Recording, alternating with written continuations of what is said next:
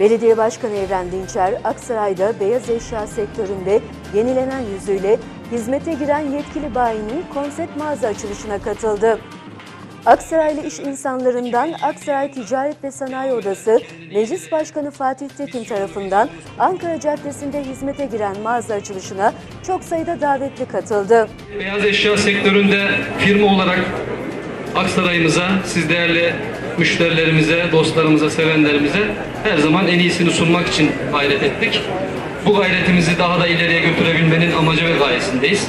Kısa bir açılış konuşması yapan işletme sahibi, iş insanı ATSO Meclis Başkanı Fatih Tekin ve marka satış direktörü ile CEO'su katılımcılara teşekkür ederek ileri mağazacılık uygulamalarıyla tüketici deneyimini en üst düzeye çıkarmak üzere marka olarak Türkiye'nin dört bir tarafında uyguladıkları konsept mağaza formatını tanıttılar.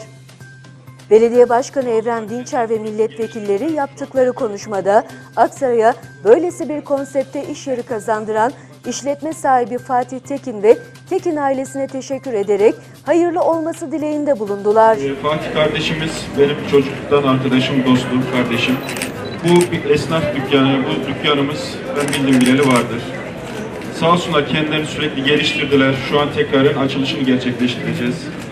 Ee, Böyle bir konsept, böyle bir e, düşünce, faaliyet geliştirdikleri için ben firma yetkililerine teşekkür ediyorum. Aksaray'ımıza da bu yeniliği getirdikleri için hem Fatih Beylere hem e, firma yetkililerine tekrar huzurlarınızda teşekkür ediyorum. Bu işletmenin hayırlara vesile olmasını, bol kazançlar getirmesini temenni ediyorum. Hayırlı günler diliyorum. Dualar eşliğinde gerçekleştirilen açılışın ardından davetliler hep birlikte Yaşayan Mutfak konseptindeki mağazada şefin hazırladığı özel ikramlardan tadarak sohbet ettiler, ürünleri tanıdılar. Ürünler ve özel olarak hazırlanan ikramlar davetlilerin beğenisine sunuldu.